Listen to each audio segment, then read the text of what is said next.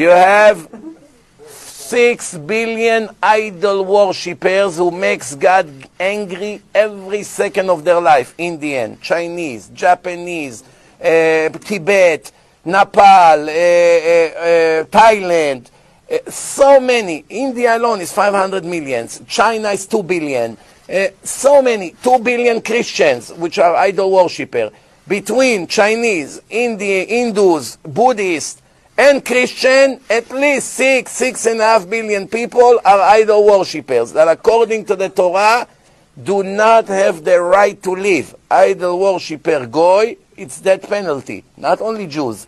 Even a goy who bow down to an idol, who, be, who believe in JC, deserve death penalty.